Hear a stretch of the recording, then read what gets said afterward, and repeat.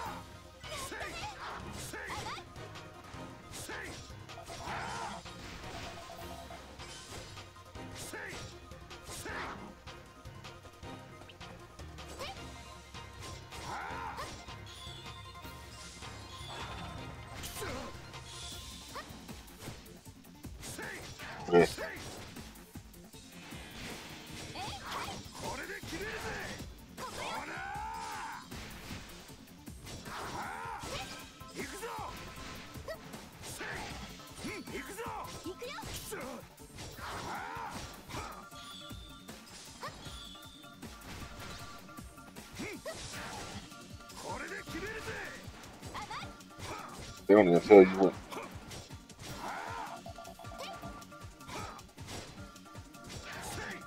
barely doing any damn damage.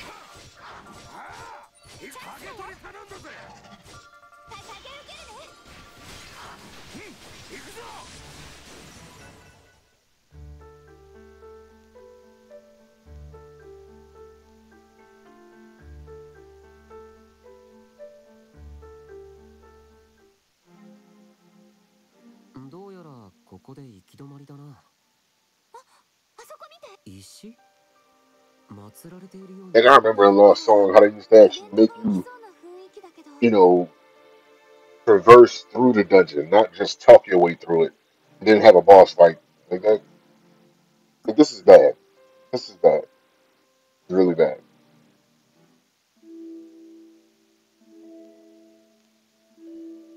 Because like they took the good features out of that was in Lost Song and they just threw it to the side and made it. It's the majority of this is just like a fucking animated novel compared to what Lost Song was.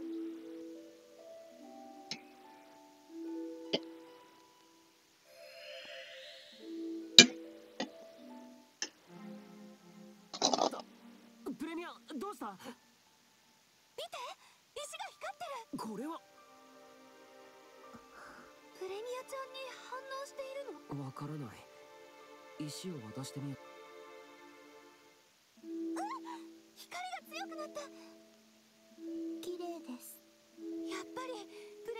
反応してる。ねえこれってやっぱり。ああこれが本当のプレこんな何もない洞窟にプレミアちゃんのクエストがあったなんて。目的なく歩き回ってこの洞窟にヒントなく入るなんて誰もたどり着そうだね。君の優しさがあったから見つけられたんだよ。そんなことないよ。アスナもプレミアのクエストをやることに OK し。ううん、君のおかげだよ。No, if y'all just want to keep stroking each other egos, that's fine, but I would like to get out of here, please. キリタくん。アスナ。キリタくん。すみません。お忙しいですかご、ごめん。あえっ、ー、と、何かなこれ。私が預かっていいのでしょうかああ多分君にゆかりのあるものだから持ってていいと思うよ。わかりました。持ってます。やっぱりクエストのキーアイテムっぽいね。ねえこのクエストって今の石を取って終わりじゃないよね。そうだな。これで終わりじゃなく。むしろこれから始まるんだ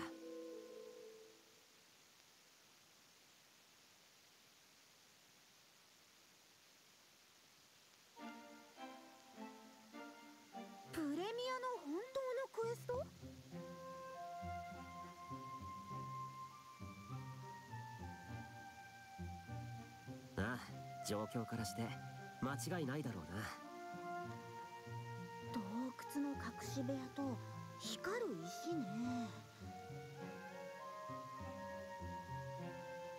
今までのイチコロをもらうものとは全然違う内容です。ねこの情報って他では聞いたことないわよねでもそうなると今までのクエストって何だったんだろう？それはユイが調べてくれたよ。はい。今までプレミアさんに発生していたクエストはダミークエストでダミークエストが発生する NPC はクエストデータに参照するための番号を所持してですがプレミアさんは設定が全て初期状態。ヌルは数値として置き換えられるとゼロとして扱われます。そのためずっとゼロ番のクエストを呼び続けていたんです。そのゼロ番のクエストっていうのが1コロをもらうというクエストだったんだよ。あのクエストの内容から制作者が仮で作成したクエスト。ゲームを作る時って細部を詰める前にひとまず仮データを入れておくことがよくある。それでダミークエストですか。なるですがプレミアさんが本来のクエストポイントに行ったことで参照番号が上書きされたんです。簡単に言うと脱線していたクエストが本筋に戻ったということですね。すっごい偶然だよね。何のヒントもないのに本来のクエストの場所を見つけるなんて。腹ペコの人がお弁当を食べたいって言い出したことでクエスままあ結果オーライ？それでプレミアちゃんの本当のクエストってどんなものなの？それはまだどんなものかよく分かっていなくて。あくまで正常に動いたのはクエストだけでプレミアは今まで通りだからさ。今のところ手がかりは光る石だけなの。そうなると次のクエストを探し出すのが大変そうだね。問題ねえって。ヒントがやたら出まくるゲームより楽しめるじゃねえか。光る石か。まずはそれに関連してそうな言い伝えなんかを調べてみるのが鉄板だな。よし。その本当のクエってのをクリアしてあげようぜ。賛成もしかしたらプレミアちゃんがどこの誰なのかキャラ的に酒場の看板娘って線はなさそうね。意外と優秀な女性衛兵長とか？このアイングラウンドのお姫様だったり。うんうん。こうやって予想を立てながら話を進めていくのって楽しいわ。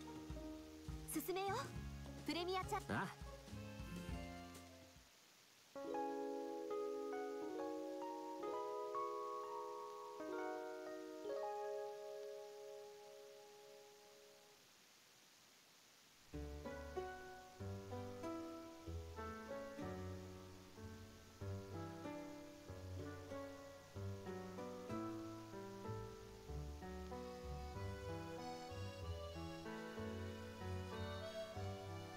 Finally.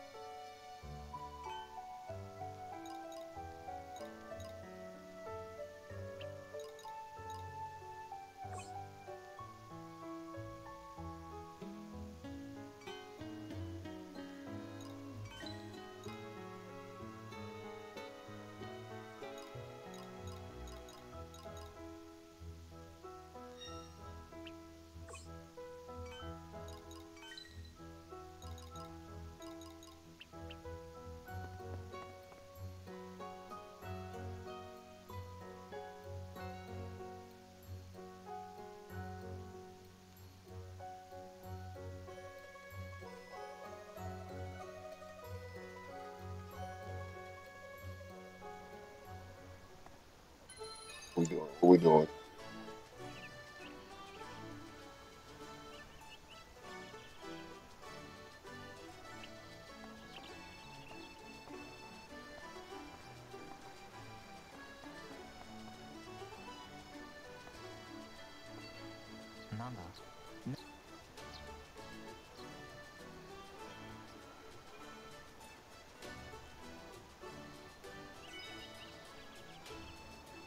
It take forever in a day to just in a damn closet?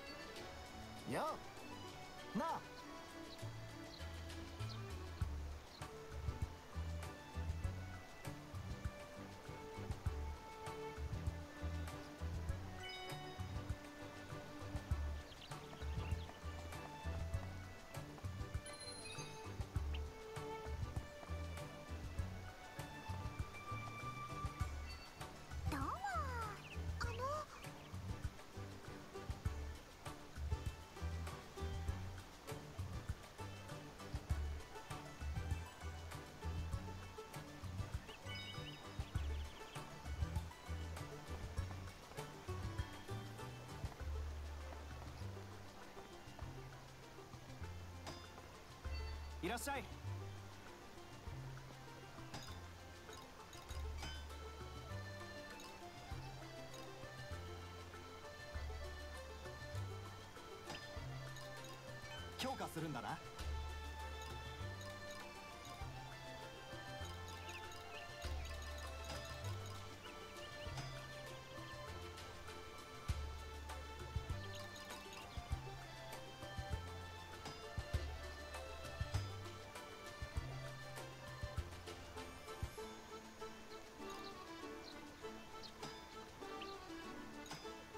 進化させるんだな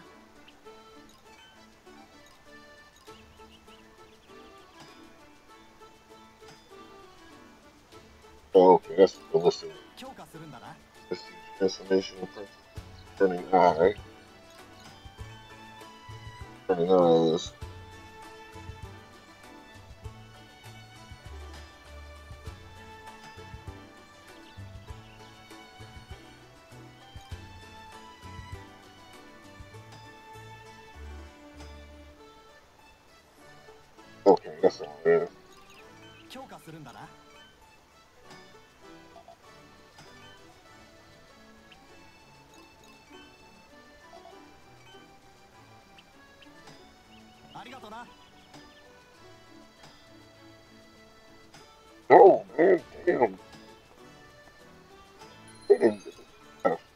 Uhum.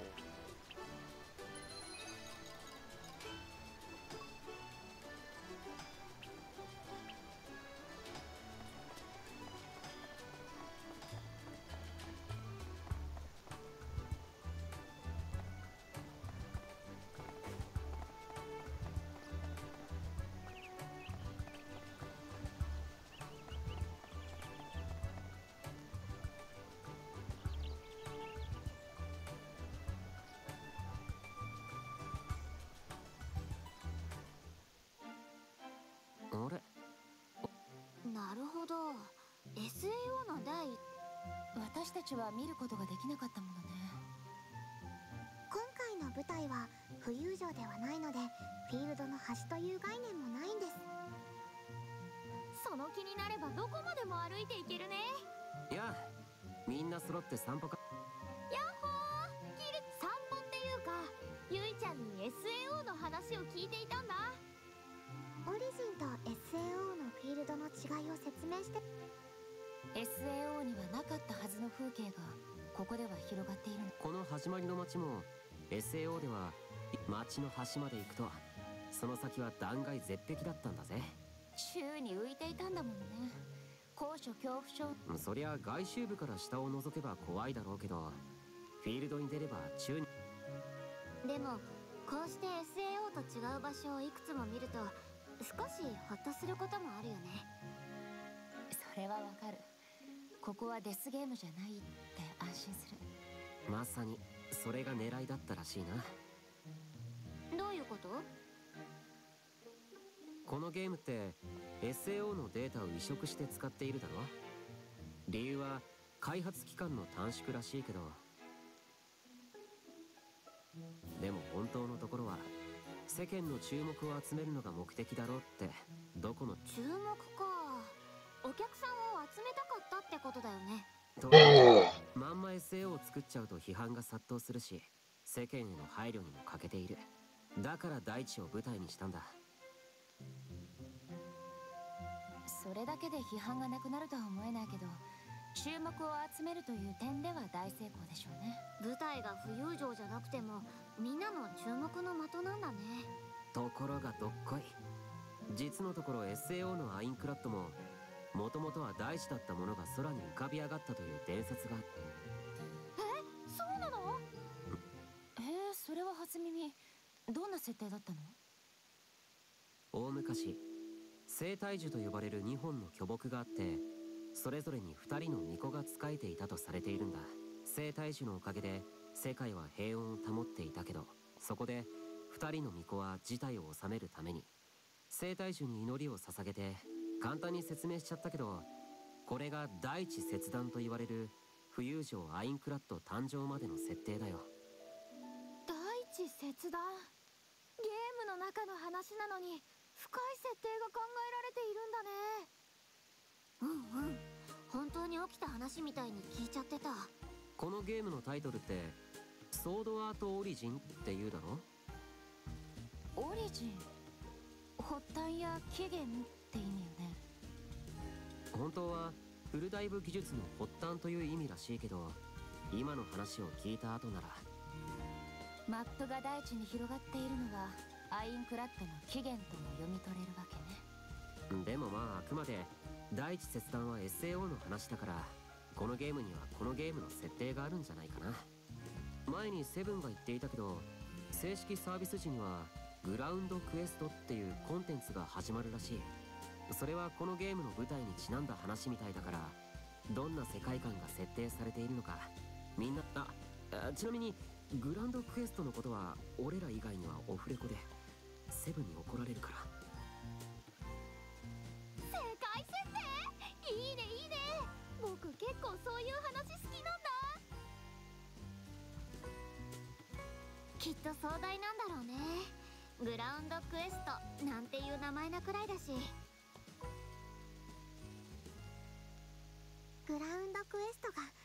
待ち遠しいですね。ああ公開されたらみんなで攻略しよう。アインクラッドの起源か。あのメッセージになぜアインクラッドの名前が出てきたんだろう。そして C というメッセージに込められた真意がわからないことには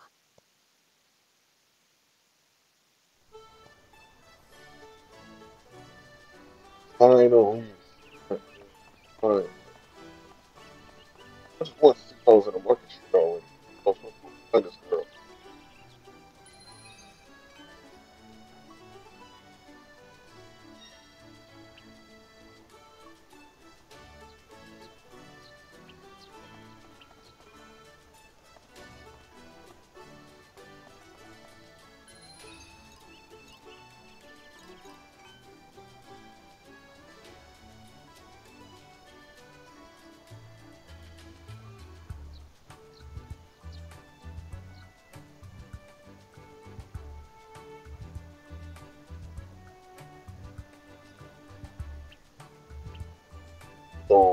They want me to go find all these other.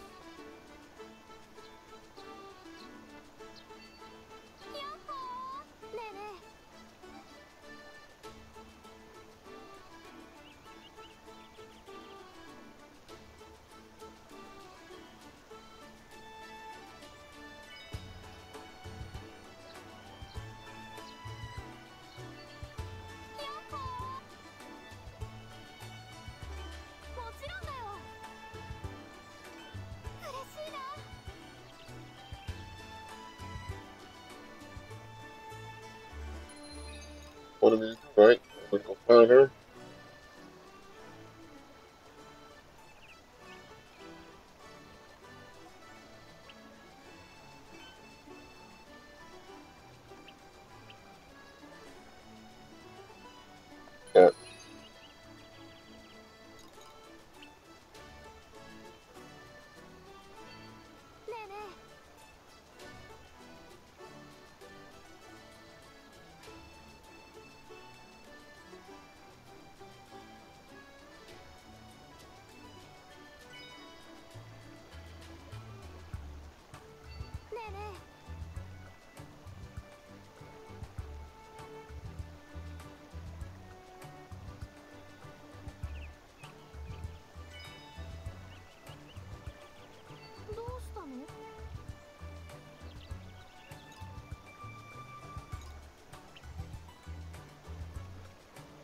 Because I gotta find out what the other ones are. None. Right there where I was to begin with, so I gotta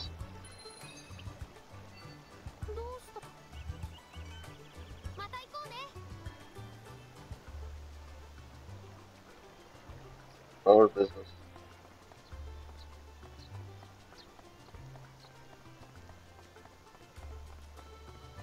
I feel like I'm playing hide and most of this damn game.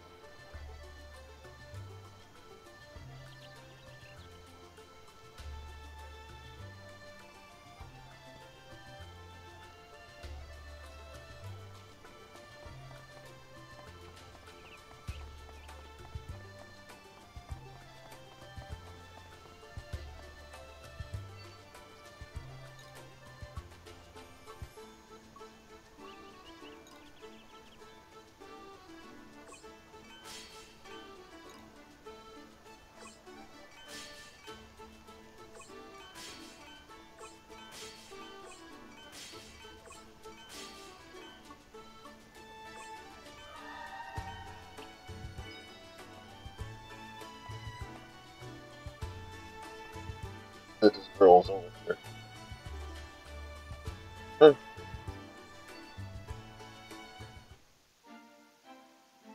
おいシノあらキリトいやたまたま見かけたからさシノはどちょっとレベリングにでも行こうかなって思っていたところ一緒に行く？二人の方が効率も良さそうだしそうだな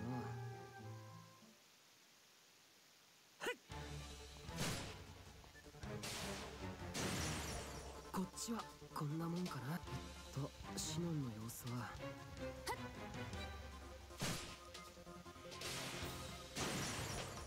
この。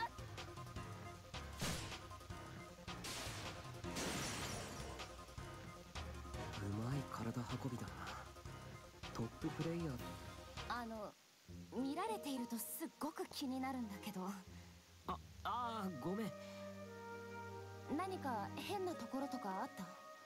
いやすごくいいと思うよ。それにしても随分と集中しているじゃないか。私以上にストイックな人間がそばにいるんだもの。もしかしたらその人のゲームバカが映っちゃったのかも。それ俺のことだろ。でも別に責めているわけじゃないの。ねえ初めて SAO で会った時のこと。を忘れるわけないよ。なんせ突然シノンが空からおあの時の私は記憶が曖昧になっていてしばらく状況が理けどそんな私に親切にしてくれたでしょ俺だけじゃない。みんなだってシノンを心配して力になってくれていた。もちろんみんなにも感謝しているわ。でもあなたは私にあの世界での生き方を教えて。生き方？剣の扱い方から様々なシステムのことまでいろいろと。そのおかげで私は SAO でも生き残ることができたんだと思う。だから感謝してるってこと。ゲームのことを何も知らない私に教えるのは相当大変だったでしょ？そうでもないさ。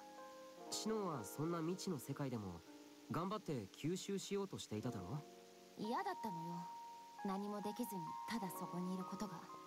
だとしても教えられる側の努力があったからこそ俺も最後まで諦めなかったんだと思うんだそう言ってもらえるとちょっと嬉しいかも。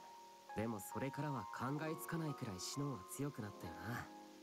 強い？私が？さっきの戦いもそうだけどそう真似のできない動きをしてたぜ、うん、ねえ。じゃあ勝負してみましょうか。勝負？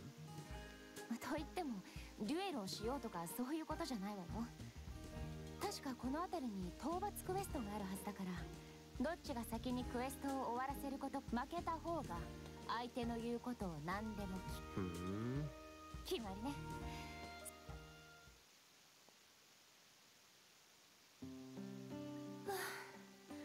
あんた手加減ないのね。手加減なんて逆に失礼だろまこれからも精進したまえシノン君。ムカつく。冗談はさておきシノンは本当にすごいって。お世辞なんていらないわよ。本心だよ。シノンの動きを見ていて思ったんだ。単純な武器の扱いだけじゃなく立ち回りや敵との間合いだったりいろいろな面でシノンの実力は並じゃないってわかるよ方を変えると立派なゲーム配信ちょっとそれは褒め言葉としてどうなの？でもそれくらいゲームにかける努力が伝わってくるってことさ。まあいいわ。とにかく強くなっているのならそれでいいの。けどやっぱあんたの強さは異常ね。ゲーム廃人の私でも真っ青。褒めてないよなかしらね。俺の場合シノンに比べればゲーム歴もダイブ歴も長いしな。それだけじゃないと私は思う。というと？ダイブ歴とかセンスだけの問題じゃない。死と隣り合わせの世界に生きた人の本当の強さって。本当の強さか。私が SAO で助けられた時守るって言ってくれたわよね。まあもちろんその言葉は嬉しいしどこかであんたに期待している自分もいるわ。だけどこのままなのはダメだと思うの。十分強いってそう言われてもか？私に必要なのはこの程度の強さじゃないの。早くうん、でももしシノンが限界を感じたら迷わず俺のところに来てほしいシノンが辛い思いをしているなら俺が絶対に助ける。たとえそれをシノン自身が拒んだとしても。拒んでも。守るって約束したからな、うん、ありがとう。今は気持ちだけ受け取っておくわ。それで十分私は。さてそれじゃあ町に戻る前に約束通り勝負に負けたから何でも言うことを聞いてあげる。ああそっか。何でもか。じゃあ前に買い物の途中でシリカが着ると似合いそうって言ってた。え？あの服？だダメよ絶対。あれはシリカだから似合うんだから。何でも言うことを聞くんじゃなかったのか？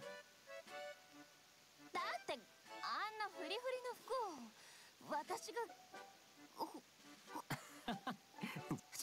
冗談ってあんたね！じゃあ俺が勝った記念にカフェで一杯おごらせてくれ。シノンが俺におとなしくおごられるっていうのでどうだ？あんたはいつもそうやって。ん？分かったわ。おごられあう